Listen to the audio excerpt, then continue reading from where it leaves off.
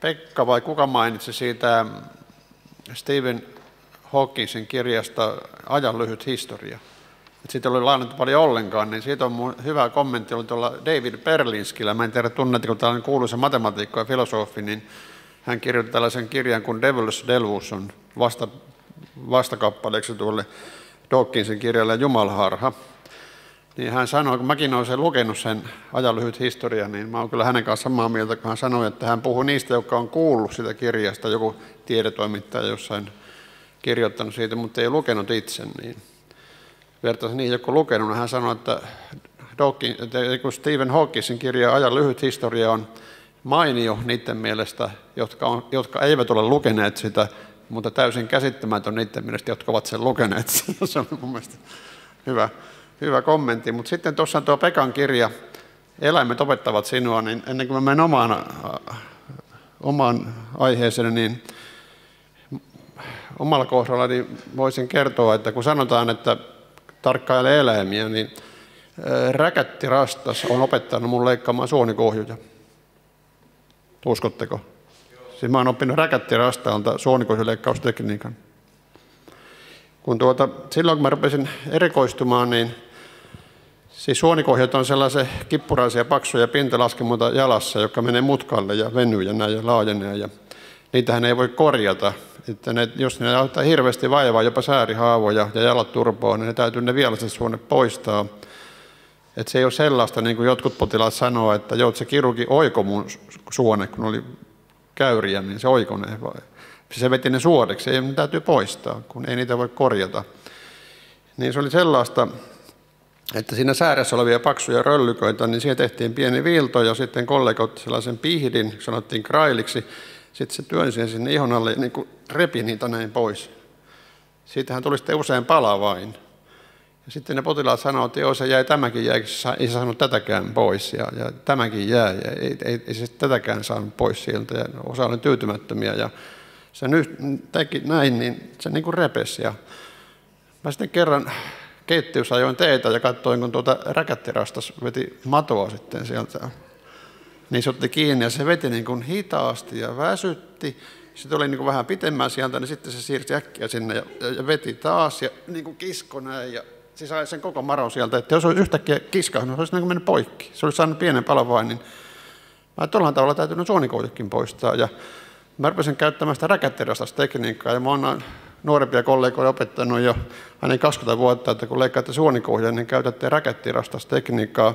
Mutta mulla on vielä se etu, että kun räkättirastalla on yksi nokka, niin mulla on kaksi niin mä otan sen toisella pihdillä verän hitaasti ja sitten kun, se, kun mä en ole niin nopea kuin se räkättirastas, niin mä otan toisen pihdin sinne alemmaksi ja sitten kun se tullut pitkälti, sitten mä verran toiselle ja tein näin, niin saa sellaisia jopa tällaisia pätkiä on saanut pois sieltä, niin sitten on potilaan paljon tyytyväisempiä, kun sanoo, että se saikin pois nämä kohjut täältä.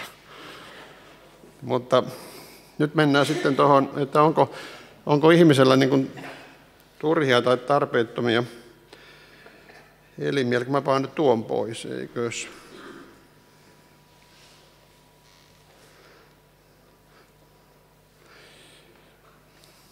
Joo, eli tuota, tämä on vuoden 86 uuden lukion biologiasta. Tässä puhuttiin niin kuin siis tässä kirjassa ennen tätä tekstiä puhuttiin siitä, että miten niin näissä sikiöissä on siis sellaisia, sellaisia niin kuin elinten jäänteitä, että se sikiö niin kuin muistelee sitä lajin kehitystä mukaan. Silloin kiduksia ja kaikkia, ja sitten ne surkastuu pois, pois tuota, ja sitten siitä jatketaan, että vastaavallaisia surkastumia myös aikuisyksilöissä puhutaan, että ihmisessäkin on niin kuin parisataa tällaista tarpeetonta surkastunutta elintä, jotka on vain niin muistoja siitä, kun meidän esisämme oli märehtiöitä tai sitten oli lintuja tai sitten oli kaloja, niin on jäänyt tällaisia, niin kuin tällaisia, tällaisia muistoja kehityspolun varrelta. Ne on vailla käyttö olevia kehittymättömiä elimiä. Ja tällä on muuten tällaisella paradigmalla tai tällaisella ajatuksella niin on varsin haittaava vaikutus niin kuin tieteen tekoon, että jos ajatellaan, että ihmisessä onkin on parisataa surkastunutta elintä, ja, niin tuota, niitä on myös poistettu sen takia aikanaan vuosikymmeniä sitten joiltakin, että tuota, saataisiin se yksilö niin kuin tavallaan niin kuin enemmän ihmiseksi ja kehittyneeksi, että kun ne poistetaan ne tuota, sellaiset turhat surkastumat, niin tuota, se olisi niin kuin jotenkin enemmän ihminen. Ja sitten ei välitä tutkia niitä, kun kukapa nyt haluaisi jotakin kaatopaikkaa tonkia, joku tutkija, niin, niin tuota, niitä, niitä ei niin kuin pitkän aikaa välitetä tutkia, kun ne on kuitenkin niin kuin tällaista kehitysopista jäännettä, niin miksi niin kuin tutkia, mikä on niiden funktio? Ei välttämättä tullut jollekin mielenkään, että niillä on mitään niin kuin tekemistä ja funktiota. Niin tämä niin kuin merkittävästi on niin kuin haitannut lääketieteen tutkimusta ja kaikista pahinut tämä roskadNA tietysti, turhia molekyylejä. No opetetaan sitten, että esimerkiksi että oli tässä joku aika sitten tuo tieteen kuvalehdessä oli sellainen numero, jossa oli myöskin, että, että miten ihminen menetti karvaansa, kun se kehittyy apinasta, että miten, miten ihminen menetti karvaansa, mutta ei se mitään karvoja ole menettänyt. Kyllä me ollaan aivan täynnä karvoja.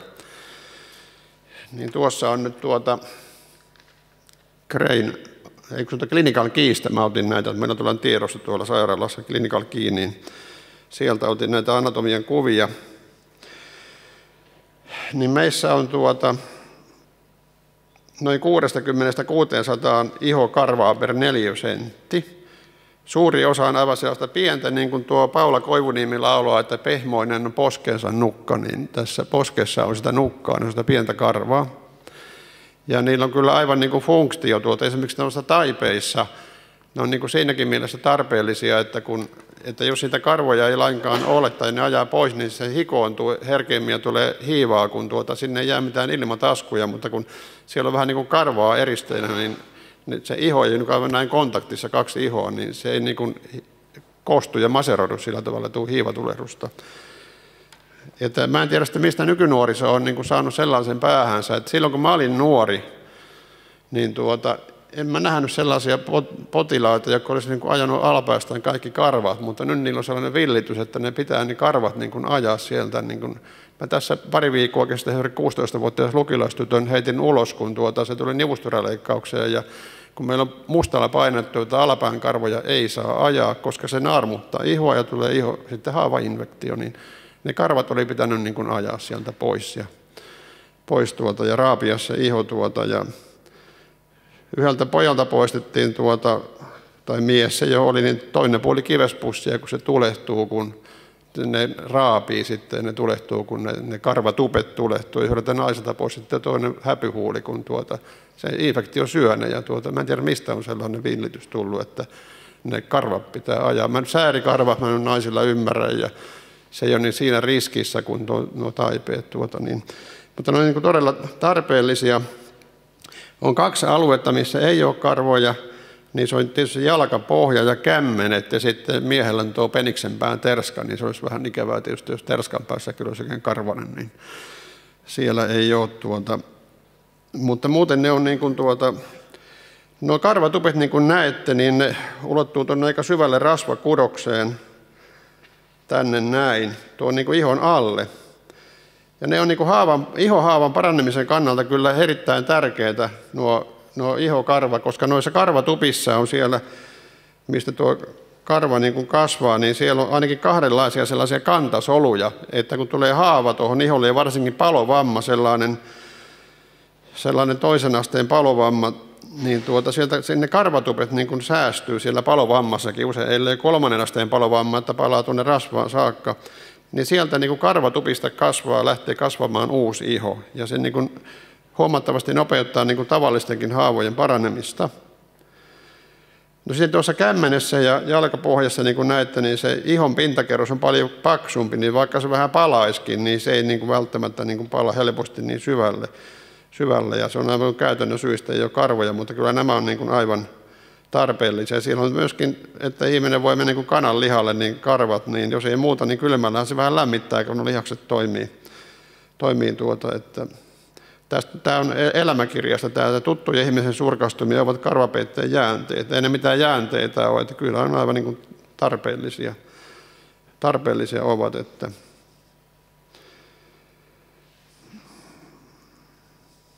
Tuossa on tuota karvan karvan anatomia, siinä se karvatuppi, missä on sitä epiteelien. Täällä on niitä, tuota, niitä sellaisia kantasoluja, Ja sitten kun sanotaan, että tämä iho niin kuin palaa, esimerkiksi tätä myöten palaa, tai täällä että iho niin kuin palaa osittain, niin sitten tavallaan ihosolukkoa jää tänne karvatuppiin. Sitten sieltä niin kuin kasvaa uusi iho, että ei tarvita ihonsiirtoa aivan, jos on niin kuin, ei ole kovin syvä palovamma, niin se paranee itsestään. Tuossa on ihmisen päänahkaa, niin näette, miten nuo karvatupet menee tuonne syvälle tuonne ihon alle. Tänne näin nämä mustat, niin tämä, tämä on rasvaa, ihonalaista rasvakulusta. Tämä on sitä verinahkaa, dermistä.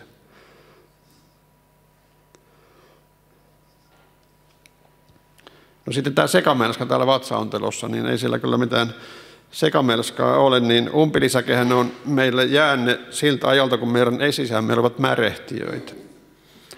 Koska märehtiöillähän se umpilisäkin, niin kuin siellä sulatetaan selluloosaa, siellä on sellaisia bakteereja, jotka niin kuin erittäin sellulaasia ja hajottaa, niin kuin, hajottaa niin kuin sitä selluloosaa. Niin kuin mun isän, isoisänikin tallissa, niin hevos, ei hevosella heiniä, vaan syvät ne tallista seiniä. Ja ainakin mun isoisän hevostallissa oli seinät, hirret kyllä järsitty ja sillä, tuota, sillä hevosella on iso umpilisäke ja siellä sitä hajotaan selluloosaa, mutta ihmisellä se on tuota, sillä on vähän niin kuin eri funktio. Siis meissähän on osittain siis sellaisia elimiä, joita me tarvitaan niin kuin siinä sikiökehityksen aikana tai hyvin varhaisessa imevää sijassa tai tässä. Ja sitten kun tulee ikää lisää, niin, niin menet, niitä ei enää tarvita ja sitten ne voi niin kuin tavallaan vähän surkastua. Niin tuota, mä en ole koskaan leikannut vastasyntyneitä, mutta toi mun lastenkirurgikollega sanoi, että vastasyntyneillä umpilisäke on siihen muuhun vatsaintelon elimien verrattuna huomattavan iso. Niin umpilisäkehän on tuota immunologinen elin, elin tuota, eli siinä, siinä, siinä sen suolen, ympäri, suolen ympärillä on hirveän paljon imusolmukkeita, ja siellä umpilisäkkeissä syntyy nämä paksuisuuden limakalvolla olevat niin vasta-aineet, puhutaan immunoglobuliini Aasta, niin ne vasta-aineet syntyy siellä, siellä umpilisäkkien bakteerit tuottaa ne vasta-aineet. Ja tuota,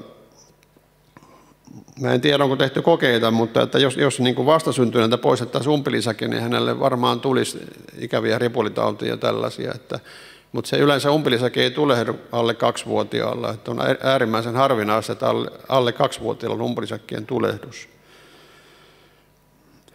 Ja sitten aikuisen umpilisäkkeistäkin mä oon jo ainakin parikymmentä vuotta opettanut kollegoille, että kun teette jonkun vatsaleikkauksen, niin älkää niin kuin varmuuden vuoksi poistatko samanlaista umpilisäkettä sieltä, kun Ranskassa sanottiin, että appendekektomia passaan, että siinä ohjessa poistetaan umpilisäkekin niin kuin kun ne poistaa jonkun kohdun, niin aina oli tapana poistaa se umpilisäkekin sen takia, että jos se niin kuin tulehtuisi, tulehtuisi, niin on todettu, että se umpilisäke on myös tuota aikuisella sellainen niin kuin näiden tarpeellisten suolistobakteerien niin turvapaikka, suojapaikka, että jos sä saat jonkun salmonellan tai punataudin tai koleran, niin tuota, tai sulla on joku antibioottikuuri, joka tappaa osan niistä limakalvon niistä bakteereista ja tulee epätasapainoa, niin ne normaalit suolistobakteerit säilyy suojassa siellä umpilisäkkeessä, että kun sitten kun ihminen alkaa toipua jostain kolerasta, niin jos se umpilisäke on tallella, niin se vaikuttaa toipumaan sitä huomattavasti nopeammin. Sitten jos se antibioottiripulin, sellaisen Clostridium difficile ripulin antibiooteista, niin tuota, yhden ruotsalaistutkimuksen mukaan, että jos umpelisäkä oli poistettu, niin se, se tämä Clostridium ripuli uusiutui neljä kertaa yleisemmin niillä henkilöillä, joilta se oli poistettu. Että, että en mäkään ole niin pitkään aikaan enää sitten sitä niin varmuuden vuoksi poistan, jos se kerran on terveen näköinen.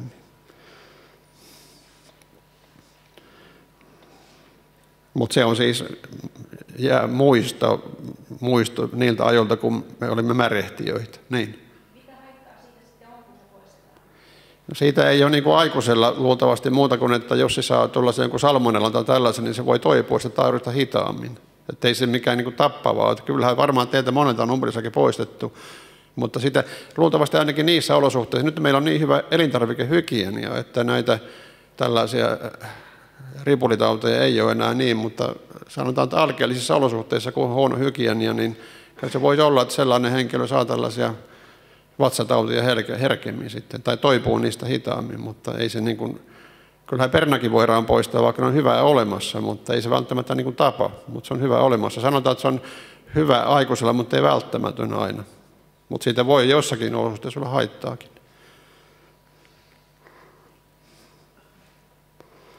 No entä häntä ja kirukset, niin. Mennään sikiöihin nyt tuota, näitä sikiökuvia on tuossa tossakin.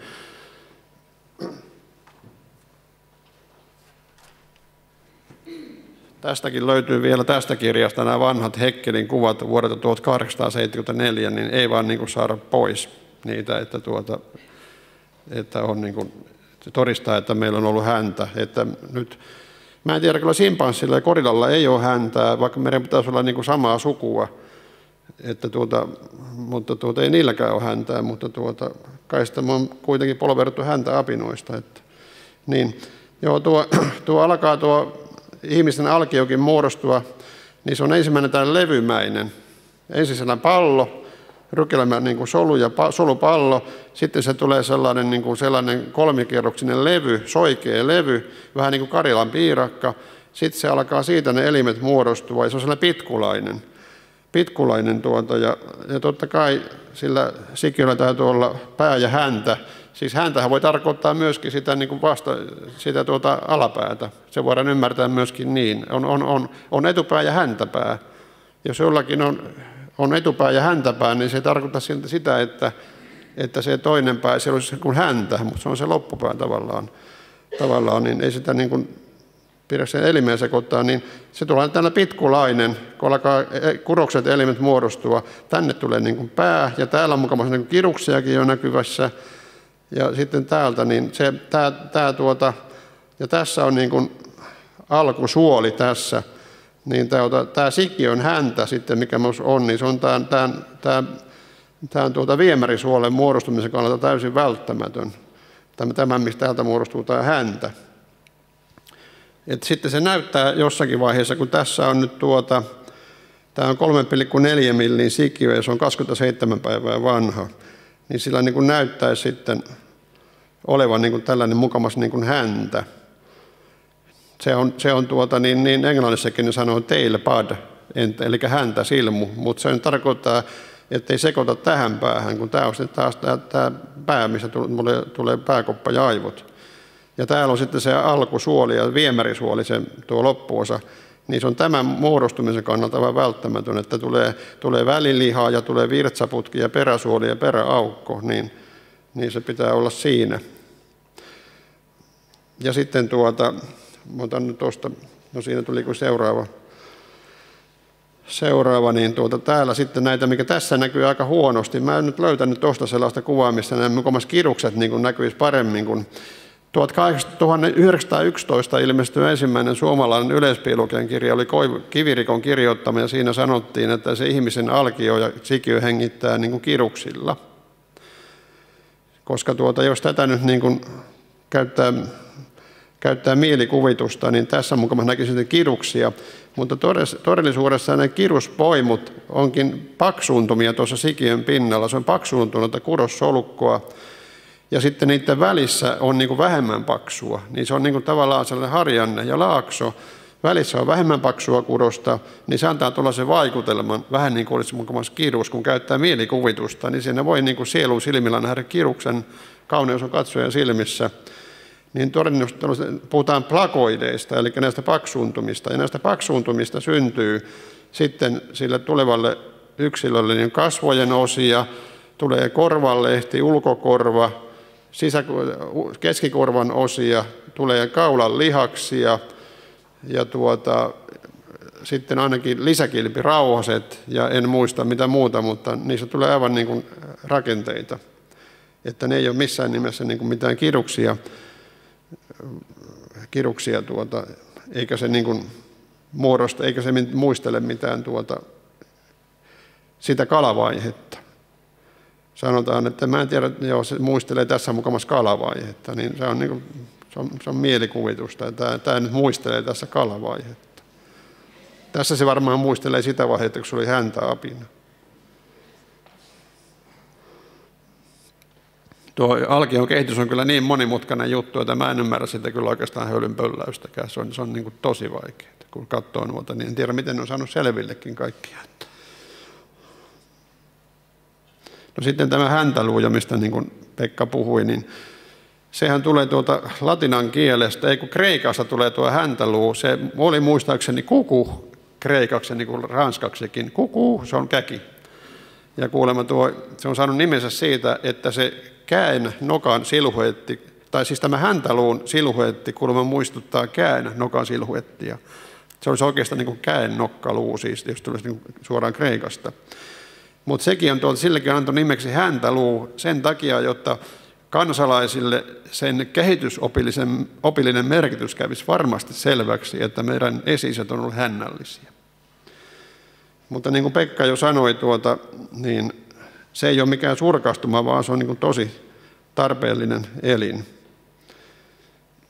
Se on muun muassa istumisen kannalta, meillä on kolme tukipistettä, kun me istumme, on lantieluiden istuin kyhmyt oikealla ja vasemmalla, ne on niin kuin edessä ja takana on tämä kolmas tukipiste, eli häntäluu, niin se pitäisi olla mun mielestä istuiluu eikä häntäluu. Ja joku, joku nimimerkki, tietysti eikö uskontanut sanoa nimeä, niin internetissä pilkkas mua, että kun kirurgi ei tiedä, että ihmisellä on jo istuiluu, että eikö se tullut niin tyhmä, että se ei tiedä, että ihmisellä on jo istuiluu, kun hän puhuu istuin kyhmyistä näistä.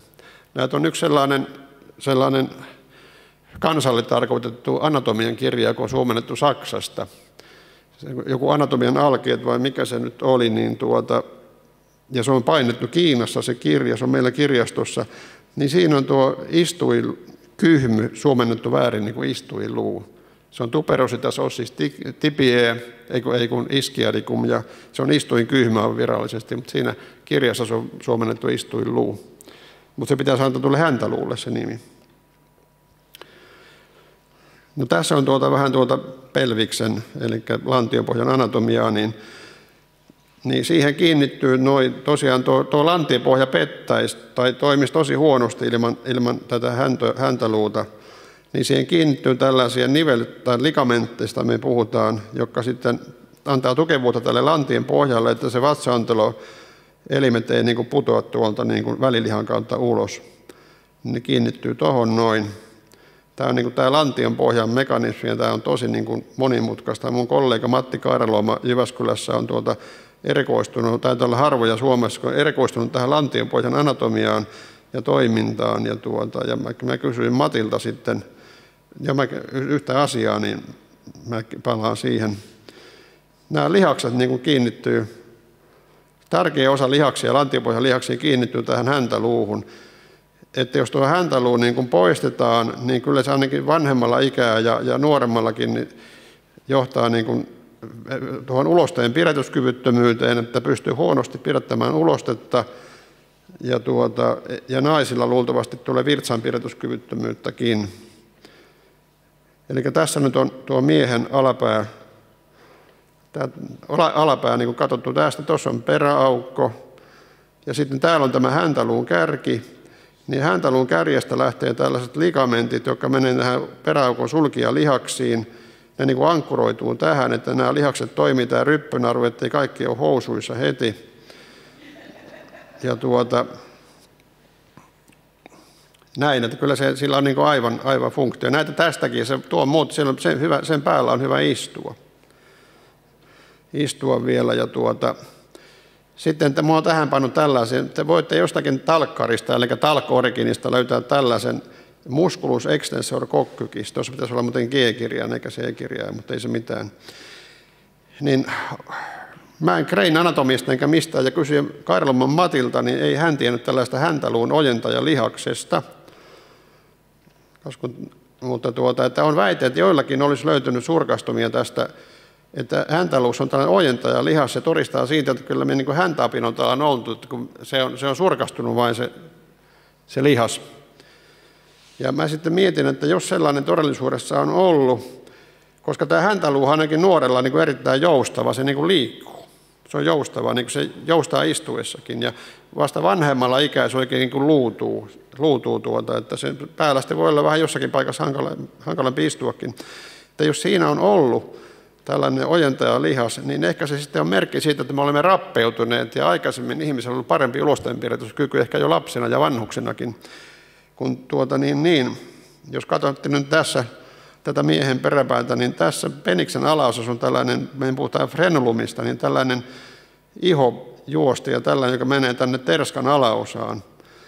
Ja, ja sillä taas on sitten sellainen funktio, että kun tuota mies saa niin kuin erektio ja sitten yhdynnän aikana, niin tämä vetää niin virtsaputken kiinni, suun kiinni, ettei sieltä naisen emättämistä mene kaikkea hiivaa ja kaikkea sellaista kuin miehen virtsaputkeen.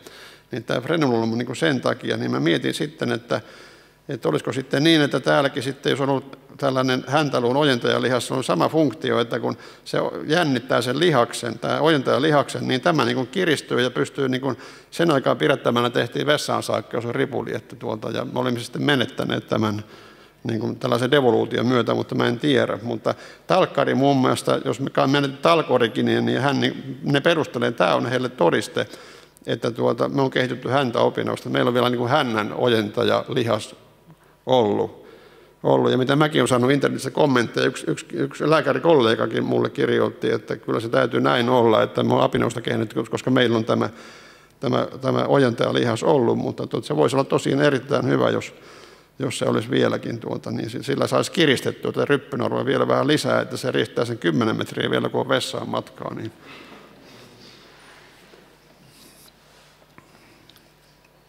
Ja tässä on vielä siitä sulkijalihassysteemistä.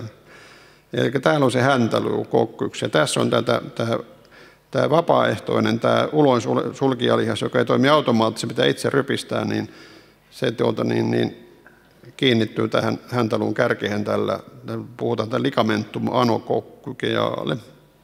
Näin.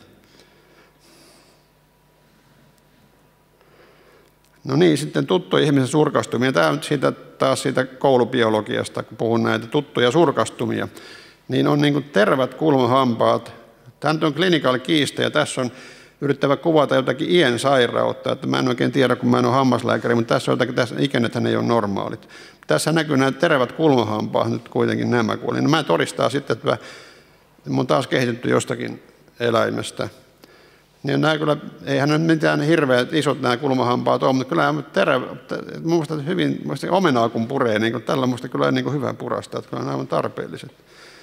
Tarpeelliset. Mutta tämäkin on niin kuin todiste, että me on kehitetty jostakin eläimistä, kun on terävät kulmahampaat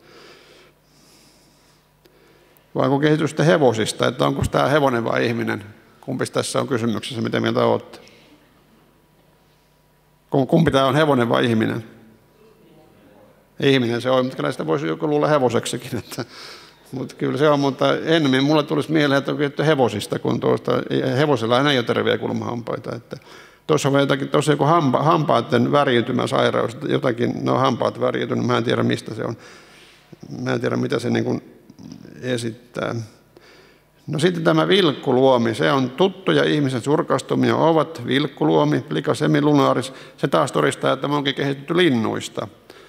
Täällä tulee myöhemmin todiste myös, kun me kehitetty kaloista. Että mäkin menin sekaisin, että onko se nyt se lintu vai kalamerin isänsä vai molemmat. Kai se meni niin, että ensin oli se kala ja sitten siitä tuli niin kuin nämä matelijat ja sitten siitä kehittyi lintu. Ja sitten, ei mutta hetkinen, eihän, tuota, eihän me kuitenkaan linnusta ole kehitetty, kun me on kehitetty niin kuin matelioista, kun ensin oli matelia, sitten oli, sitten oli nisäkäs lisko, sitten oli nisäkäs ja sitten sieltä tuli ihminen. Mutta onko tuota noilla matelioilla vilkkuluomia? Kai niilläkin on joku.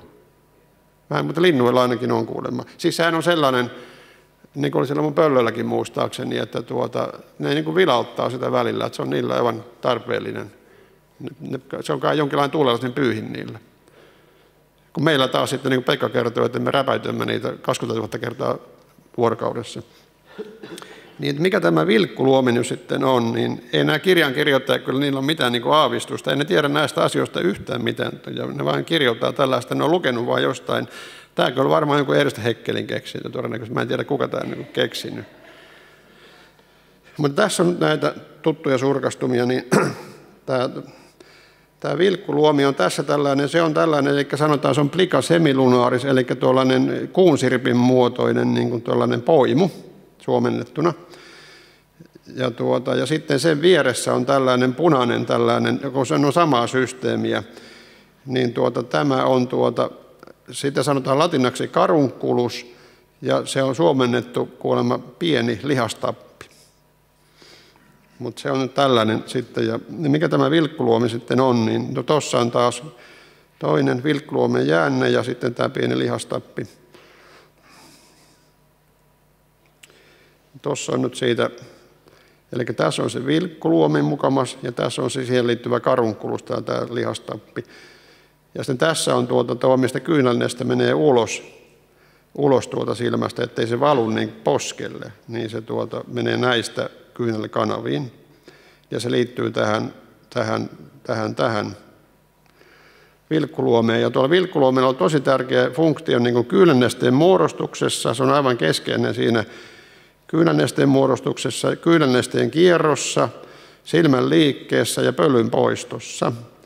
Jos ei olisi vilkkuluomia, niin tässä pölyisessä ympäristössä niin kuin aika pian voisi niin kuin sokeutua tai hämärtyä. Ja silmän liikkeet tulisi oikeastaan mahdottomia ilman vilkkuluomia, joka niin kuin joustaa. Ja tämä vilkkuluomi niin kuin kiinnittää tämän silmän niin kuin sisäreunan tänne kiinni, mutta se on joustava, niin se sallii silmän liikkeet, voi käännellä silmää näin, että, että tämä niin joustaa ja menee niin poimulle. Sitten se välillä kiristää, kun kääntää silmää ulospäin, ja se ankkuroi silmän tämä mediaalikulma tai sisäkulma tänne näin. Hetkinen, mä katson, että mikä oli. Joo, niin tämä, tämä, tämä vilkkuluomi kuuluu tällaiseen niin kuin tähän silmän niin kuin pinnan niin kuin tällaiseen sidekudokseen. Ne puhuu konjunktiivasta sidekalvoa. Tässä sidekalvolla on sellaisia kopletin soluja, ja tuota, ne tuottaa sellaista limamaista äänettä, jos sanotaan musiiniksi. Ja se on niin aivan keskeinen osa tuota kyylän, kyylän nesteen koostumusta. Kyylän neste on hirveän monimutkainen koostumus, ja mun kollega tässä pari vuotta sitten väitteli, tästä kyynännesteen koostumuksesta. Se on, se on monimutkainen. Jos meillä olisi kyynännestettä, meidän silmä kuivuisi päässä eikä nähtäisi yhtään mitään. Ja tällä vilkkuluomella on keskeinen tehtävä tässä, koska suuri osa näistä kopletin soluista, joka tuottaa tärkeää musiinia, niin on keskittynyt tähän vilkkuluomen alueelle. Mulle, kun mä kävin silmälääkäreiden kirjastossa viime vai toissa kesänä, niin kattelin sieltä, kun oli näitä kopletin soluja, niin ne, keskittyy pääosin tänne on muuallakin vähän, mutta mä en sitten tullut skannattua niitä kuvia sieltä, että tuossa Clinical Keyssä ei ollut, ollut tuota. Ja tässä on sitten kuva siitä, että miten tämä vilkkuluomi ja tämä pieni lihastappi liittyy tähän, tähän, tuota, tähän miten kyynelestä poistuu. Kyynelestä poistuu nenää sitten näitä kanavia myöten, paitsi sitten kun itkee, niin se on sitten eri systeemi taas. taas. Ja sitä kyynelnesteistä osa muodostuu täällä kyynel rauhasessa, sitten kun me räpäytämme silmää sen 20 000 kertaa, kertaa niin kuin vuorokaudessa, niin se leviää tänne ja sitten siihen sekoittuu näitä muita aineita, niin kuin sitä musiinia tuolta. Ja tuota, tässä puhutaan tällaisesta, niin kuin, tähän, tähän muodostuu sitten aina sellainen kyyn, kyynel, kyynel neste, sellainen lammikko. Se, ja se, tämä, tämä, tämä plika, eli Tämä tekee mahdolliseksi, että tähän voi muodostua kyynänestä lammikko, ettei se kyynänestä niin valu tänne näin. Niin se kerää sen kyynänesteen tähän pieneksi lammikoksi, ne puhuu siitä kuin lacrimal lake, ja sitten se lammikosta niin tämä imee sitten tämä kyynelkanavat imee sen tänne näin, että se ohjaa sen kyynänesteen poistumista. Tuossa nyt on vain, no tämä nyt on kuva, kuva siitä tuossa on näitä kopletin soluja tuolla, mutta ei tämä on huono kuva, että ne on sellaisia vaaleita soluja siellä, niin, joka muodostaa sitä, että siinä muodostuu, tulee, tarvitaan kyynän rauhanen, meipomin rauhanen ja kopletin solukko, että saadaan kyynän nestettä. Ja tässä on kuva, kaavikuva kyynän nesteestä. Tuohon on kuvattu niitä vilkkuluomen kopletin soluja, jotka valmistaa sitä musiinia. Ja täällä on niitä eri, eri tuota aineita sitten. Ja, ja tässä on sitten tämä silmän niin kuin sidekalvo tai sitten tuo, tuo sarveiskalvo. Ja se on hyvin monimutkainen tuota systeemi, tuo kyylän neste. Sen pinnalla on tällainen rasvakerros, eli lipiidiä, että se ei haihdu se kyyn neste täältä, niin tästä lipidikerros. Ja sekin on hirveän monimutkainen se lipidikerros. Ja sitten siellä on, siellä on muista antibiootteja, antibakteerisia aineita, ettei silmä tulehdu ja vaikka mitä. Ja sitten siellä on, on niitä tuota, näitä tuota musiinia, jotka muodostaa siinä, muodostuu siinä vilkkuluomessa. Että että ei ne kyllä sanotaan paljon mitään näistä asioista tiedä, joka sitten meidän oppilaille kertoo, että lapsille kertoo, että me ollaan tullut lintuja. Tuossa on vielä kuva karsastusleikkauksesta. Kun silmä karsastaa, niin sitten jotakin näistä, näistä silmän lihaksista täytyy lyhentää, että saadaan se silmä suoraksi. Niin tuossa on se silmän sisäkulma, niin silmälääkäreitä varoitetaan ja vannotetaan, että tähän vilkkuluomeen ei saa koskea. Että se pitää antaa olla rauha, se pitää työntää tällaisella luomullisuudella syrjään, sitten ottaa lihas täältä esille, katkaista ja panna vähän päällekkäin ja lyhentää sitä, että se silmä asettuu oikeaan asentoon. Se on kuulemma katastrofi näölle, jos tämä vilkkulomi vaurioituu. No niin, sitten tuo elämä, joka julkaistu vuonna 2005, tämä lukion biologian oppikirja sanoo, että suora vatsalihas, pyykkilaudalihas on ihmisen ainoa jaukkeinen lihas. Kaikki muut lihaksemme ovat jaukkeettomia. Suoran vatsalihaksen jaukkeisuus kertoo yhteisestä alkuperäistä kalojen kanssa. Näin. Eli, eli tämä suora vatsalihas, millä me teemme vatsalihasliikettä, tätä näin punttisalilla, niin se tuota, on tällainen parinen lihassa, ulottuu tuota kylkiluusta tuonne häpyluuhun, molemmin puolin keskiviivan. Ja siinä on kolmesta viiteen tällaisia, niin kuin, tällaisia jaukkeita, jotka on tällaista niin kuin sidekurosta, niin kuin jännekurosta tavallaan. Näin. Ja ne on kyllä tuon äh, vatsan, vatsan seinämän kannalta aivan välttämättömiä nämä sidekurosjuosteet. Tuossa on kuva niistä, niistä näistä jaukkeista. Ne liittyy tähän, tässä keskiviivossa on tällainen, puhutaan linja-alpasta. Molemmin puolihan on niin kuin, oikeastaan niin kuin neljä vatsalihasta täällä molemmin puolin tuota. Suora vatsalihas ja kolme paria vinoja vatsalihaksia. Ja tämä tällainen vatsalihas jänne, linja alpa, niin kuin liittää ne toisiinsa, niin kuin niittää ne toisiinsa, että ne pysyy yhdessä. Ja nämä on niin kuin tosi tärkeitä nämä, nämä, nämä tässä nämä jaokkeet, että, että tämä niin kuin kestää tämä linja alpa ja joustaa. Niin se, se on hyvin monimutkainen systeemi nämä jaokkeet, jos katsoo mikroskooppikuvia ja, ja näistä, niin niin tuota, tässä nyt on aivan tuota, hyvin karkea kuva niistä, miten ne niin kuin menee ne säikeet tässä keskiviivassa, niin se on niin kuin erittäin taitavasti punottu tämä linja alpa tässä. Tässä tuota, niin kuin sanotaan, onko se psalmi 139, missä sanotaan, että olet punonut minun äitien kohdussa, niin nämä on punottu siellä. siellä niin tuota, niin tuota, kun me hengitämme esimerkiksi, tai sitten äiti tulee raskaaksi, niin tuota, tämä tarvitaan joustoa tässä vatsassa, ja se kaikki jousto tulee sitä linja-alpasta. Alpasta tuota, että jos se ei joustaisi ollenkaan, niin hengittäminen olisi vaikeaa. Aina kun me hengitämme sisään, niin pallia painuu alas, niin silloin tämä linja-alpan pitää joustaa, se pitää olla elastinen. Ja kun lapsi kasvaa, niin se ottaa sen tilan täältä ja tämä linja-alpa niin venyy ja antaa peräksi, että se lapsi mahtuu sinne, eikä se mene kohti keuhkia, että on vaikea hengittää.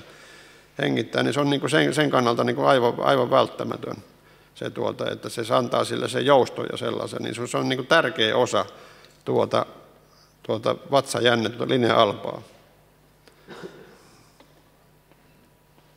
No sitten, mä varmaan pian lopetan, niin muutaman aivan sitten, että elimiä vailla funktiota.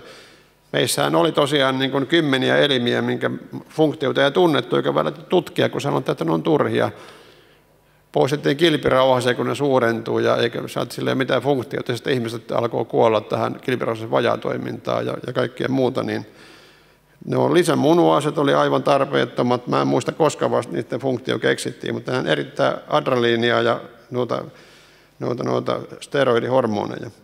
Mutta ne oli niin kuin täysin, täysin tuota, vailla funktiota ja joskus tuota verenpainetautia hoidettiin sillä tavalla, että tuota, nämä poistettiin tehtiin leikkaus verenpainetaudin takia. Sitten esimerkiksi perna, joka on tuolla kylkikaaren takana vasemmalla, vasemmalla niin mä muistan vielä tuota, tuota, tuota apulaislääkärin ajoilta, kun tehtiin vatsasyöpäleikkauksia, niin tuo perna niin kuin aina rutiinisti poistettiin ma- maasyöpäleikkauksen yhteydessä, niin pernassaan niin kuin sikiöllä muodostuu tuota verisoluja, soluja tuota, ja se on tuossa immuunipuolustusjärjestelmässä niin tosi tärkeä, tai sillä tavalla aika, aika tärkeä. Ei se nyt välttämättä kuole, kun sen poistaa, mutta siitä on haittaa. Ja ennen vanhaa, kun jos se pikkusenkin repesi tuo perna ja pelattiin, että se rupeaa vuotamaan, niin pienikin repäämään, niin se automaattisesti poistettiin. Ja nykyään se pyritään kaikilla keinoin säästämään, ettei vain tarvitse poistaa sitä. Niin, niin tuota, mutta ei se aikuisella sillä tavalla, jos sen aikuiselta poistaa, niin se kyllä altistaa tietylle infektiolle, niin kuin esimerkiksi tuo voi saada pahan keuhkokuume, keuhkokuume ja pneumokokki tulee, ei se rokoteta ennen sitä pernan poistoa mutta ei ne niin kuin mitään hyödyttömiä ole, mutta kyllä ne niin kuin sikiöllä, sikiöllä muodostuu osa verisoluista tuolla ja sitä vaan niin kuin heti syntymän jälkeenkin. Ja sitten vanhemmalla ikään kuin immuniteetti muutakin kehittyy, tulee vasta-ainetta, niin se ei ole aivan niin tärkeää, mutta että kyllä aina jos se pernä poistetaan ja se tietää etukäteen, niin pitää antaa rokotus ainakin, että, että ei siellä niin oikeastaan turhia ole, turhia ole tuota elimiä. Joo, Selvä, mä taidan nyt tuota, tähän lopettaa tuota. Enemmän löytyy varmaan sieltä mun koulubiologian analyysistä, mutta en mä nyt täytä vaivaa, vaivaa tuota enempää. Niin tässä.